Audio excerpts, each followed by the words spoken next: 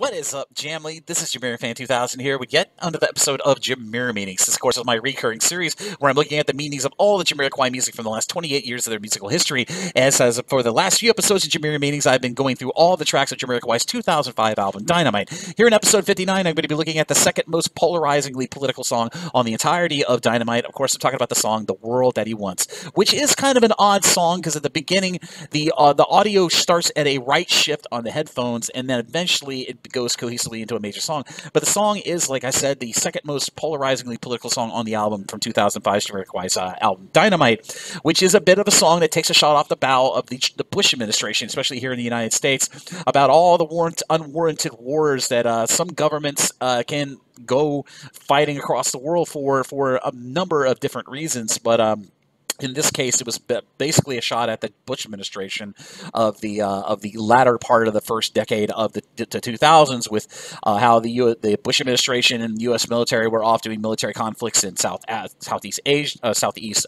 Africa, and most predominantly in the Middle East and Afghanistan and Iraq.